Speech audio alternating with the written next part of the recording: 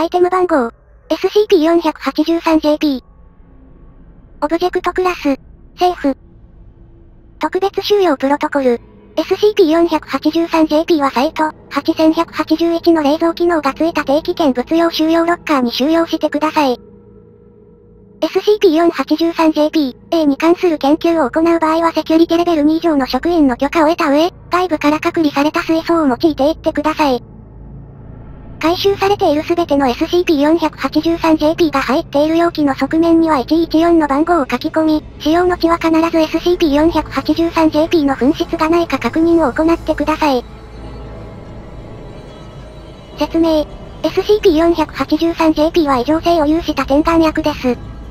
SCP-483JP の構成物質の大半は未知の液体から構成されていますが、一部に魚類、ハリガネムシ、線形無質な針金虫目、由来の成分を含むことが判明しています。SCP-483JP は一般的な点眼薬の容器に入れられており、現在14個の SCP-483JP が収容されています。一般的に脊椎動物として分類される生物が SCP-483JP を点眼薬として使用した場合、SCP-483JP を使用して約3零分後に使用者は不自然な耐え難い喉の渇きを訴え始め、使用者は喉の渇きを癒すために水分の摂取を行い始めます。この症状は使用者が最低でも自身と同体重量の水分を摂取するまで続きます。この際使用者は自身が通常では摂取不可能な量の水分を摂取していることに自身で気がつくことが可能ですが、多くの場合喉の渇きを癒すことを優先します。SCP-483JP により引き起こされた喉の渇きを癒すために重視されるものは水分量のみであり、使用しや2高濃度の食塩水を摂取させた場合であっても喉の渇きを癒すために必要となる水分量に変化はありません。一定量の水分を摂取することで喉の渇きは一時的に軽減されますが、喉の渇きが完全に消失することはないため、使用者は可能な限り水分の摂取を継続して行います。実験動物及び D クラス職員を用いた実験結果は使用者が摂取できる水分量に限界が存在しないことを示しています。摂取された水分が体内のどこに貯蔵されるのかは現在不明です。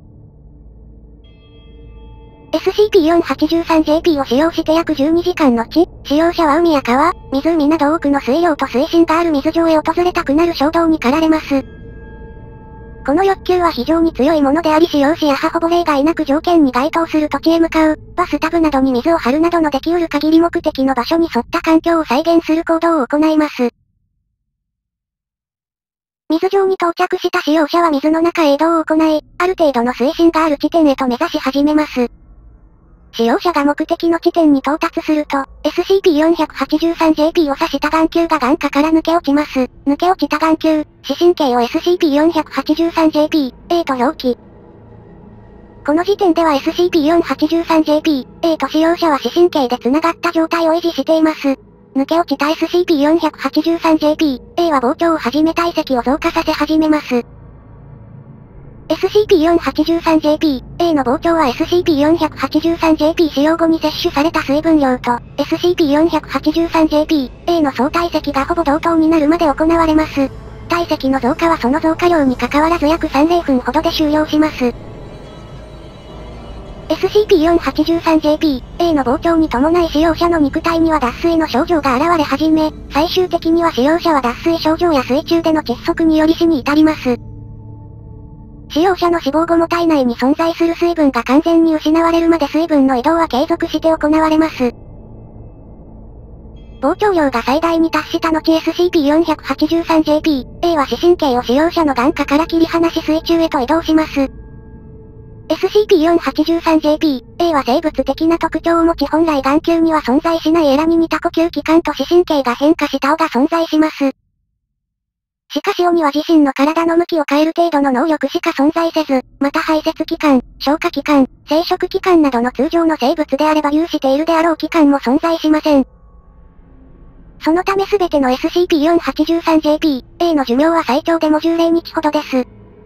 SCP-483JP、A の周囲に大型の魚類や人間などの外敵が接近した場合、SCP-483JP、A は外敵を凝視し動向を伸縮させる運動を繰り返します。これは外敵に対する威嚇行動だと推測されていますが、SCP-483JP-A はこれ以上の防衛機能を持ちません。そのため SCP-483JP は巨大な体格を持つにもかかわらずごく一般的な魚類等に一方的に捕食されます。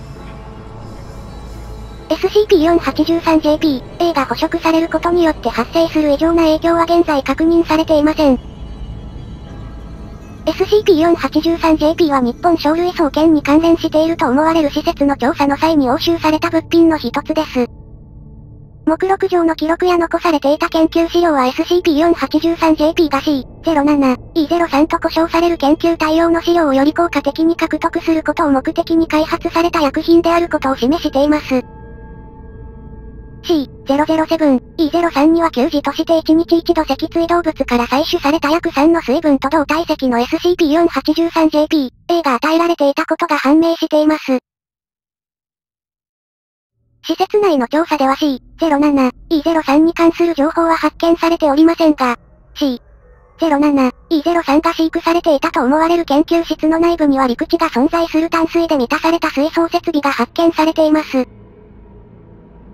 水槽設備の内部からは角膜、結膜、強膜、視神経以外の部位と体液を完全に失った4体の SCP-483JP、A の死骸が発見されました。SCP-483JP、A の死骸に直径約 5mm の円形の穴が無数に存在していることから、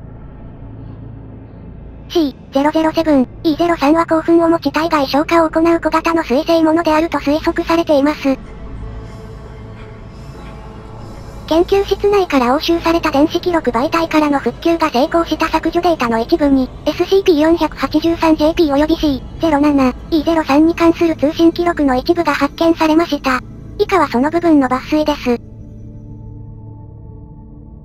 次は我々が以前から開発している C007、E03 についての報告だが、今月でクライアント側との連絡がつかなくなってから3ヶ月が経過した。おそらく目玉の害獣どものせいで完全にこちらとの連絡手段が途絶えてしまったものだと予想される。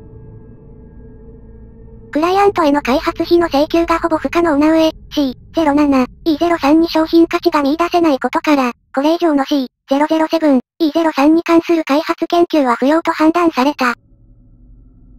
前回の通達通り、研究記録と最低限の実態標本のみを残し残りは処分するように、なお C07、E03 の効果的な資料確保のため開発された給仕用眼球育成薬についてだが、今回我々が受けた損害を回収するため、様々な種類の生物の目玉を愛玩動物として飼育できる薬品、として再利用することが決定された。今後は使用後に生成される生体の小型化や生存能力の上昇、脊椎動物以外の生物への対応、別種の眼球同士の交配機能など、より愛玩動物としての機能の拡張に重点を置いて開発を行うように、